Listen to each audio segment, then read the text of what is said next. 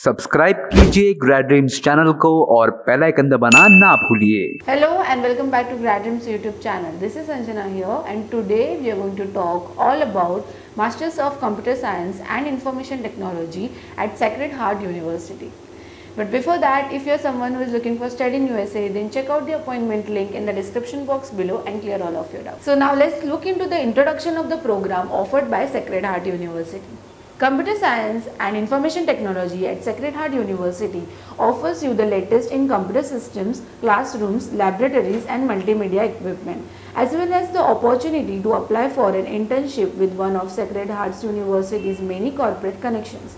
Student internships have included jobs ranging from software development and network security to instructional technology.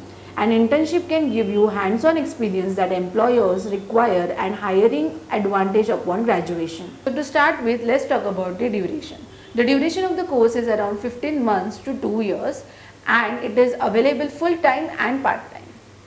Now let's talk about the ranking. The university rank around 217 as per the QS World University ranking.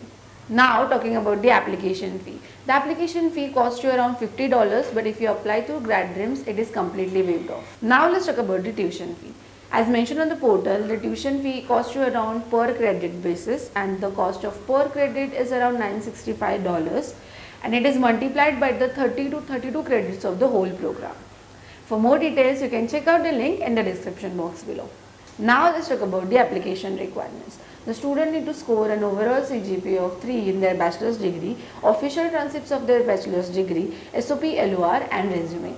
Talking about the test scores, GRE is completely waived off for grad dreams and talking about the English proficiency examination, IELTS score of 6.5, TOEFL score of 80 and Duolingo score of 110 is good to go. So the next step is deadline. The university has two major intakes that is fall intake and spring intake. The deadline for fall is May 15 and the deadline for spring is September 15. For more detailed information, you can check out the link in the description box below. So now let's talk about the scholarship.